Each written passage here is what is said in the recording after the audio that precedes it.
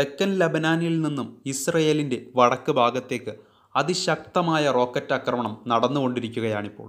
ഹിസ്ബുള്ളയുടെ അതിശക്തമായ തിരിച്ചടിയാണിപ്പോൾ ഇസ്രയേലിൽ സംഭവിച്ചുകൊണ്ടിരിക്കുന്നത്. ഇസ്രയേൽ നഗരങ്ങൾ കത്തിച്ചാമ്പലാകുന്ന അവസ്ഥയിലേക്കാണിപ്പോൾ കാര്യങ്ങൾ വന്നു നിൽക്കുന്നത് എന്നാണ് യുദ്ധനിരീക്ഷകർ ഇപ്പോൾ തുറന്നു പറയുന്നത്. ഹമാസ് നേതാവ് ആറൂരിയുടെ വധത്തിന് പിന്നാലെ വലിയ മുന്നറിയിപ്പായിരുന്നു ഇറാനും ഹിസ്ബുള്ളയും അതുപോലെ ഹൂത്തികളും ഹമാസുമെല്ലാം ഇസ്രയേലിനും അമേരിക്കയ്ക്കും നൽകിയത്. എന്നാൽ മുന്നറിയിപ്പ് നൽകിയതുപോലെ ഇസ്രയേലിനെ അമ്പരപ്പിച്ചുകൊണ്ടാണ് ലബനാനിൽ നിന്നും ഇസ്രയേലിന്റെ വടക്ക് ഭാഗത്തേക്ക് അതിശക്തമായ റോക്കറ്റുകൾ ചീറിപ്പാഞ്ഞുകൊണ്ടിരിക്കുന്നത്.